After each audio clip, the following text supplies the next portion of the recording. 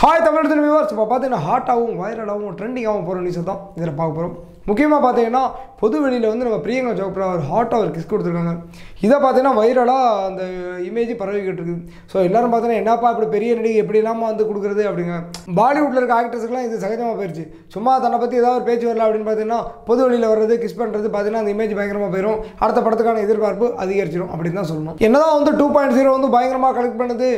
விஜயோட எல்லாத்தையும் முடிவு கொண்டு வந்து வந்துடும் அவரெல்லாம் இன்னி பாக்ஸ் ஆஃபீஸ் கிங் கிடையாது. அப்படின்னு சொன்னால் கூட இலங்கையில் ஒரு முக்கியமான நிகழ்வு நடந்திருக்கு. என்ன அப்படின்னு பார்த்தீங்கன்னா மெர்சல் வந்து கிட்டத்தட்ட பத்து கோடி ரூபாயை அங்கே வந்து வசூலிச்சிருந்துச்சு.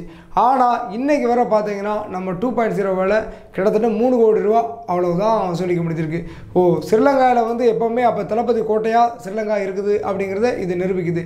இன்னும் எவ்வளோ நாள் படம் ஓடுனா அதை நெருங்க முடியுமா அப்படிங்கிறது கூட பயங்கர ஆச்சரியமாக இருக்குது. ஸ்ரீலங்காவில் வந்து விஜய் கிட்ட ரஜினி வரவே முடியலைங்கிறது பயங்கர ஆச்சரியத்தை விட்டுது ரஜினிக்கு வந்து பார்த்திங்கன்னா வேர்ல்டு லெவலில் மார்க்கெட் இருக்குது இருந்தாலும் தளபதி விஜய் கிட்ட வர முடியலையே. அப்படிங்கிறது ரஜினி ரசிகர்களுக்கு ஒரு கோபத்தை ஏற்படுத்தியிருக்கும். ஆனால் பார்த்தீங்கன்னா தளபதி ரசிகர்களுக்கு இதெல்லாம் பார்த்தீங்கன்னா பயங்கர கெத்தான ஒரு ஃபீலாக இருக்கும். பா என்னதான் டூ பாயிண்ட் அங்கங்கே அடித்தாலும் ஸ்ரீலங்காவில் வந்து விஜய் தாம்பா கெத்து காணிக்காரு அப்படின்னு சொல்லிக்கிட்டு ஜாலியாக ட்விட்டர்லேயும் ஃபேஸ்புக்கையும் அவங்களோட மகிழ்ச்சியை தெரிவிக்கிறாங்க. முன்னாள் முதல்வர் கலைஞர் கருணாநிதி இறந்து போயிட்டார். ஸோ அவருக்கான சிலையை வந்து திறக்கணும் அப்படின்னு பயங்கரமாக முடிவு பண்ணிருக்காங்க. அதோடய பார்த்தீங்கன்னா மிக பிரம்மாண்டமாக அதை வைக்கணும் அப்படின்னு சொல்லியிருக்காங்க இதுக்கு முக்கியமான காரணம் என்ன அப்படின்னு பார்த்தீங்கன்னா ஏற்கனவே இப்போ வந்து பீச்சிலலாம் செலவு வைக்கக்கூடாதுன்னு ஒரு பெரிய பிரச்சனை போய்கிட்டு இருக்குது சிவாஜி கணேசனோட சிலையை வந்து அங்கே போக்குவரத்துக்கு இடையூறாக இருக்குது அப்படின்னு தூக்கி கொண்டு போய் பார்த்தீங்கன்னா இப்போ சத்யா ஸ்டுடியோ அப்படிங்கிற ஒரு பஸ் ஸ்டாப்புக்கு பக்கத்தில் வச்சுட்டாங்க. ஆனால் இப்போ வந்து கலைஞரோட சிலையை எங்கே வைக்க போகிறாங்க அப்படிங்கிறது ஒரு பெரிய ஒரு சர்ச்சையை கிளப்பியிருக்கு திமுகவோட இப்போ இருக்கிற நம்ம தலைவர் வந்து ஸ்டாலின் வந்து நேராக போய் சோனியா காந்தியை வந்து பார்த்து தலை சிறக்க வரணும் அப்படின்னு சொல்லியிருக்காரு ஸோ அதனால் என்ன மாதிரி ஒரு விஷயம் ஆக போகுது அப்படின்னு பார்த்தீங்கன்னா அப்போ காங்கிரஸும் திமுகவும் கூட்டணியில் இருக்குது மேக்சிமம் உறுதியானது மாதிரி தான் சொல்கிறாங்க ஏற்கனவே வைக்கவும் திருமாவளவன் வந்து எங்களை கூட்டணியில் சேர்த்துக்கோங்க எங்களை கூட்டணியில் சேர்த்துக்கோங்க அப்படிங்காரு. பட் இவங்க கண்ணசிச்ச மாதிரி தெரில பட் மதிமுகவுக்கு இருக்கிற ஒரு பேரும் விடுதலை சிறுத்தைகள் கட்சி இருக்கிற ஒரு பேரை ஏன் கெடுத்துக்கிறாங்க அப்படின்னு நம்ம பல வீடியோவில் கேட்டோம். அதற்கான முடிவு இன்னும் கிடைக்கல. இனி நேரத்தில் அவங்க வந்து தனியாக வந்து அவங்களோட பெரும்பான்மையை நிரூபிக்காங்க அப்படின்னு நம்ம நம்பலாம். இந்தியா வந்து பார்த்தீங்கன்னா ஆஸ்திரேலியாவில் சுற்றுப்பயணம் மேற்கொண்டுகிட்டு இருக்கு ஸோ இங்கே வந்து டெஸ்ட்டு வந்து ரொம்ப முக்கியமாக படுது. யார் திறமை இருக்கோ அவங்க தான் டெஸ்ட்டில் ஜெயிக்க முடியும் அப்படிங்கிறது நமக்கு ஏற்கனவே தெரியும். ஸோ எப்படியாவது போய் அதுவும் கோழி தலைமையில் போய் டெஸ்ட்டை நம்ம கண்டிப்பாக ஜெயிச்சுட்டு வந்துடணும் அப்படின்னு நம்ம அணி வந்து போராடிக்கிட்டு இருக்காங்க. முக்கியமாக பார்த்தீங்கன்னா இன்றைக்கி மழை வர்றது மாதிரி அங்கே இருக்கிறதுனால அவர் தொடக்க ஆட்டக்காரர்னா ராகுலும் முரளி விஜயம் பார்த்தீங்கன்னா அப்படியே கட்டையை போட தொடங்கிட்டாங்க. சும்மா வர்ற போலாம் அப்படியே ஸ்ட்ரைக் பண்ணி அப்படியே வச்சுக்கிட்டு இருக்காங்க. ஸோ அப்படியே டைமை இழுத்து விட்றாங்க போல இருக்குது. மேபி ட்ரா பண்ணுறதுக்கா என்ன அப்படின்னு தெரியல. ஜெயிக்கிறதுக்கான எல்லா முயற்சியும் இந்திய அணி பண்ணிட்டு வராங்கிறதுல எந்த ஒரு மாற்று கருத்தும் இல்லை.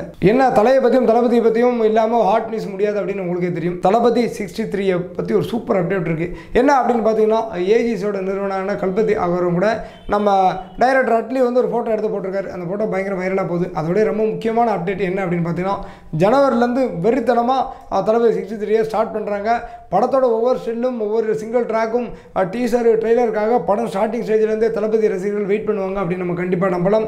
ஸோ இந்த படம் வந்து வேறு லெவலுக்கு வரும். ஏற்கனவே விஜயோட ஒவ்வொரு படத்தோட மார்க்கெட் பார்த்தீங்கன்னா பயங்கரமாக போய்கிட்டே இருக்குது. இன்னும் கொஞ்ச நாளில் சூப்பர் ஸ்டார் ரஜினிகாந்த் கமல்ஹாசன்லாம் முந்திருவார் அப்படின்னு கூட தளபதி ரசிகர்கள் சொல்லிக்கிட்டு இருக்காங்க. ஸோ தளபதியை பற்றி மட்டும் பார்த்தா போதாதில்ல தலையை பற்றியும் பார்க்கணும்ல.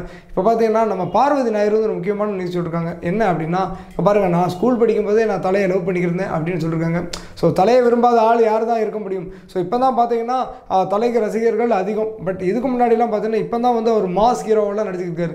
இதுக்கு முன்னாடிலாம் பார்த்தீங்கன்னா ஆசை இது போட்டு படுத்தோன்னா பயங்கர சாக்லேட் பாய் மாதிரி இருப்பார். ஸோ அந்த நேரத்தில் அவங்க பார்த்து லவ் பண்ணுறாங்களா அதை ஓப்பனாக சொல்ல வேற செஞ்சுருக்காங்க. டைரக்டர் பா ரஞ்சித் வந்து ஒரு முக்கியமான அறிவிப்பட்டிருக்காரு என்ன அப்படின்னு பார்த்தீங்கன்னா இன்னைக்கு ஈவினிங் ஆறு மணிக்கு வந்து அவரோட ப்ரொடக்ஷன் அதாவது நீலம் ப்ரொடக்ஷனில் வந்து அடுத்த ஒரு படத்தை தயாரிக்கார். ஏற்கனவே அவர் பார்த்தீங்கன்னா பரியேறும் பெருமாள் அப்படின்னு ஒரு சூப்பர் டூப்பர் ஹிட் படத்தை கொடுத்துருந்தாரு. ஸோ கலெக்ஷன் வகையில் பெருசாக போகாட்டி கூட பார்த்தீங்கன்னா மக்கள் மனசில் நிற்கக்கூடிய ரொம்ப ஒரு முக்கியமான படமாக இருந்துச்சு பரியேறும் பெருமாள். ஸோ அந்த படத்துக்கு அப்புறம் இவர் இன்னொரு படம் தயாரிக்கார். ஸோ அந்த படத்துக்கான எதிர்பார்ப்பு பயங்கரமாக இருக்குது ஆறு மணி வரை எல்லாரும் வெயிட் பண்ணிக்கிறங்க. என்ன படம் யார் நடிக்க போகிறாங்க அப்படிங்கிற எதிர்பார்ப்பு இப்போ எல்லாருக்குள்ளே வந்திருக்கும் நான் கண்டிப்பாக நம்புகிறேன் இந்த வீடியோ உங்களுக்கு பிடிச்சிருந்துச்சுன்னா லைக் பண்ணுங்கள் ஷேர் பண்ணுங்கள் கமெண்ட் பண்ணுங்கள் முக்கியமாக தி தமிழ் எடிஷன் சேனலுக்கு சப்ஸ்கிரைப் பண்ணுங்கள்